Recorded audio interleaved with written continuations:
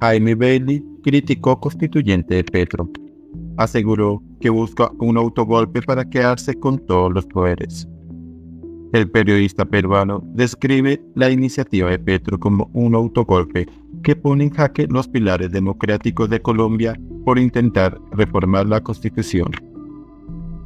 En una reciente emisión de su programa en el canal de televisión estadounidense Mega, Jaime Bailey lanzó de nuevo críticas directas hacia el presidente colombiano Gustavo Petro y su propuesta de convocar a una Asamblea Nacional Constituyente.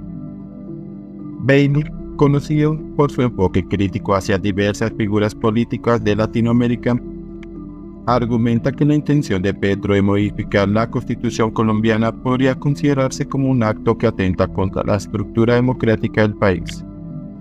Si quieres cambiar la constitución vigente, debes hacerlo bajo el imperio legal de esa misma constitución. No puedes cambiar la constitución ignorando la actual, afirmó el presentador peruano, destacando la importancia de seguir los procedimientos legales establecidos. La controversia gira en torno a las afirmaciones de Petro sobre la necesidad de una nueva constitución para Colombia, especialmente ante los obstáculos para implementar ciertas reformas como la de la salud propuesta por su gobierno. Bailey sugiere que la estrategia del mandatario para imponer una constituyente es un reflejo de prácticas políticas asociadas con el chavismo, advirtiendo sobre las consecuencias de alterar el marco legal constitucional de manera inapropiada. Además de ser un golpe chavista, es también un autogolpe. El golpe que se da desde adentro de la democracia para dinamitarla, para cambiar las reglas del juego y para quedarse más tiempo o hacer lo que le da la gana. Quedarse con todos los poderes, analiza Bailey sobre las acciones del presidente. El comunicador también señala la reacción adversa de la oposición y otros sectores frente a las intenciones del jefe de Estado, destacando que el equilibrio de poderes y los contrapesos son fundamentales para el funcionamiento de una democracia. En ese sentido, Baile critica la popularidad de Petro y lo califica de presidente inmensamente impopular, que a pesar de las críticas pretende avanzar con su plan de constituyente sin considerar el descontento y las preocupaciones expresadas por amplios sectores de la sociedad colombiana. Una política infructífera. Baile además calificó de fracaso la falta de resultados y destacó su incapacidad para gobernar efectivamente. Según los comentarios vertidos, Petro no ha cumplido con las expectativas durante sus dos años en el poder, centrando su gestión más en la retórica que en acciones concretas. Petro ha resultado un fracaso, ha resultado un fiasco, solo sabe hablar y ni siquiera da discursos tan inspirados, señaló una fuente. Las críticas hacia Petro no se detienen ahí.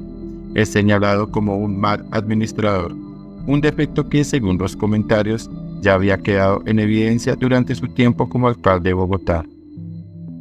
Esta percepción lo acompaña a su actual mandato nacional, donde según los críticos ha demostrado no estar a la altura de las circunstancias que requiere su puesto.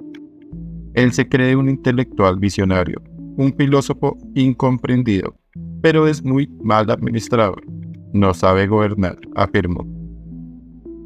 Un aspecto particularmente cuestionado es su tendencia a atribuir la responsabilidad de los desafíos actuales de su gobierno a su predecesor Iván Duque. Esta actitud ha sido interpretada como un intento de desviar la atención de sus propias fallas en la gestión. La crítica no se hizo esperar. Convirtió a Duque en un chivo expiatorio, como si los males de la Colombia de Petro fueran atribuibles a la Colombia de Duque, aseguró el presentador peruano. El análisis apunta a la desconexión entre el hablar y el gobernar como uno de los grandes desafíos de Petro.